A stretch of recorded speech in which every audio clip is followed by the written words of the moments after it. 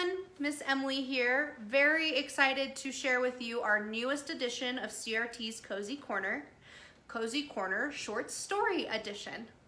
We will be reading the short stories of Rudyard Kipling, specifically from his collection called Just So Stories. As always, there is a link in the description to follow along at home if you so please, as well as follow-up activities and questions. So without further ado, let's get settled and get reading with our first short story, How the Whale Got His Throat. On the sea, once upon a time, oh my best beloved, there was a whale, and he ate fishes. He ate the starfish and the garfish, and the crab and the dab, and the plaice and the dace, and the skate and his mate, and the mackerel and the pickerel, and the really, truly, whirly, twirly eel. All the fishes he could find in all the sea he ate with his mouth so, till at last there was only one small fish left in all the sea, and he was a small stute fish, and he swam a little behind the whale's right ear, so as to be out of harm's way.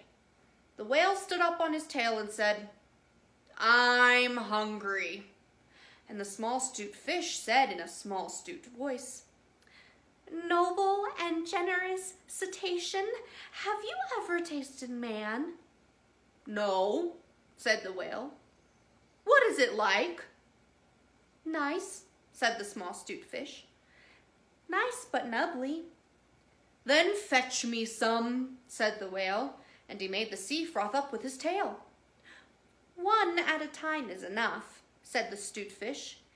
If you swim to latitude 50 north longitude 40 west, that is magic, you will find sitting on a raft in the middle of the sea with nothing on but a pair of blue canvas breeches, a pair of suspenders, you must not forget the suspenders, best beloved, and a jackknife, one shipwrecked mariner, who it is only fair to tell you is a man of infinite resource and sagacity. So, the whale swam and swam to latitude 50 north and longitude 40 west as fast as he could. And on a raft in the middle of the sea, with nothing to wear except a pair of blue canvas breeches, a pair of suspenders, you must particularly remember the suspenders, best beloved, and a jackknife, he found one single solitary shipwrecked mariner trailing his toes in the water. He had his mummy's leave to paddle or else he would never have done it, because he was a man of infinite resource and sagacity. Then the whale opened his mouth, back and back and back till it nearly touched his tail, and he swallowed the shipwrecked mariner and the raft he was sitting on, and his blue canvas breeches, and the suspenders, which you must not forget, and the jackknife. He swallowed them all down into his warm, dark, inside cupboards, and then he smacked his lips so and turned around three times on his tail. But as soon as the mariner, who was a man of infinite resource and sagacity, found himself truly inside the whale's warm, dark, inside cupboards, he stumped and he jumped and he thumped and he bumped and he pranced and he danced and he banged and he clanged and he hit and he bit and he leapt and he crept and he prowled and he howled and he hopped and dropped and he cried and sighed and he crawled and he bawled and he stepped and he leapt and he danced hornpipes where he shouldn't and the whale felt most unhappy indeed. Have you forgotten the suspenders? So he said to the stutefish, this man is very nubbly, and besides, he is making me hiccough. What shall I do? Tell him to come out, said the stute fish.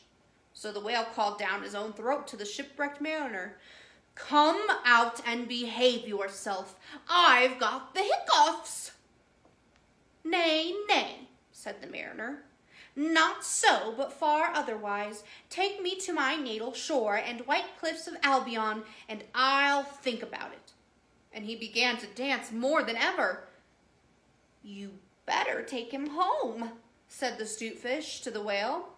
I ought to have warned you that he is most a man of most infinite resource and sagacity. So the whale swam and swam and swam with both flippers and his tail as hard as he could for the hiccoughs, and at last he saw the mariner's natal shore and white cliffs of Albion. And he rushed halfway up the beach and opened his mouth wide and wide and wide and said, Change here for Winchester, Ashuelot, Nashua, Keene, and stations on the Fitchburg Road. And just as he said Fitch, the mariner walked out of his mouth. But while the whale had been swimming, the mariner, who was indeed a person of infinite resource and sagacity, had taken his jackknife and cut up the raft into a little square grating, all running crisscross. And he tied it firm with his suspenders. Now you know why you were not to forget the suspenders. And he dragged the grating good and tight into the whale's throat, and there it stuck. Then he recited the following sloka, which, as you have not heard it, I will now proceed to relate. By means of a grating, I have stopped your aiding. For the mariner, he was also Hibernian, and he stepped out on the shingle and went home to his mother, who had given him leave to trail his toes in the water. And he married and lived happily ever afterward. So did the whale. But from that day on, the grating in his throat, which he could neither cough up nor swallow down, prevented him from eating anything except very, very small fish. And that is the reason why whales nowadays never eat men or boys or little girls. The small 'Stute Fish went and hid himself in the mud under the door sills of the equator. He was afraid that the whale might be very angry with him. The sailor took the jackknife home. He was wearing the blue canvas breeches when he walked out on the shingle. The suspenders were left behind, you see to tie the grating with.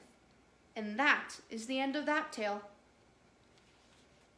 Thank you all so much for joining me for this first episode of CRT's Cozy Corner Short Story Edition. We will see you next time.